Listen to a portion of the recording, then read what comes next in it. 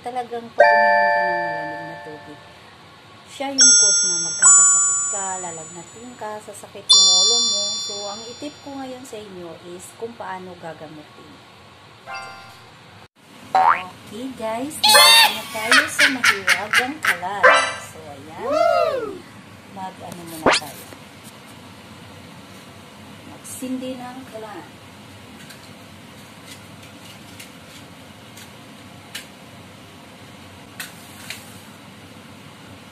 Ayan. So, walang laman. Ilagay ninyo. So, mayroon tayong yellow. Yan. Yan ang yellow. Pakukuluan natin yun siya. So, ilagay dyan yung yellow. At hintayin mo pong kumulo. Yan. Hintayin natin siya na kumulo. At kumuha ka ng isang baso. Kasi wala ang platito. Ayan na guys, kumulo na siya. Yes. Ayan.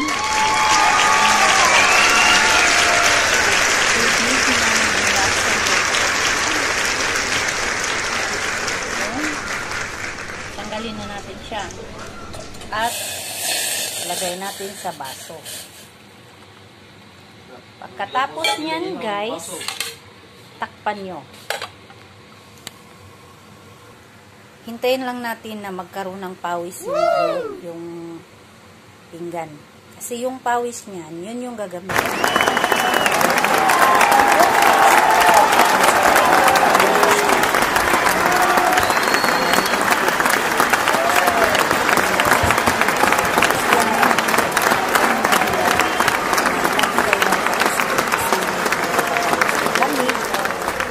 napapasma tayo. So, ayan, tingnan na natin kung mayroon na ba. O, ayan na. So, yung pawis na yan, guys, ganito yan. Ito yung gagamitin. Tapos, i-cross mo ito. Tapos, cross dito.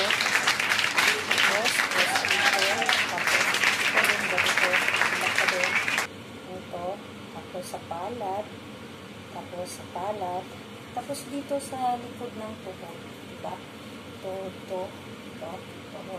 So, dito ka mag-cross sa ilalim. Yan. Tapos, ganun din dito sa kabila. At sa talampakan, sa talampakan, ganyan, cross. At ganito din sa kabila. kabila.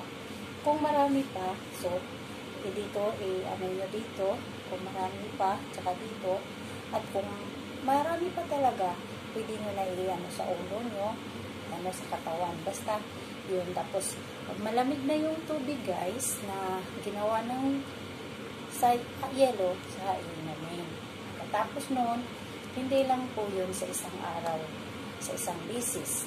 Kung hindi pa rin nawala yung sakit ng ulo ninyo, hindi po yun na tama sa pagkagawa ninyo. So, gawin ninyo yan tuwing umaga. Sa umaga po, na hindi pa kumain na wala pang laman. So, ayan lang guys. Sana may natutunan kayo sa aking tips ngayon. At kung nagustuhan niyo, pa-subscribe na lang sa akin at pa-press ng bell button para ditip pa po kayo sa next video.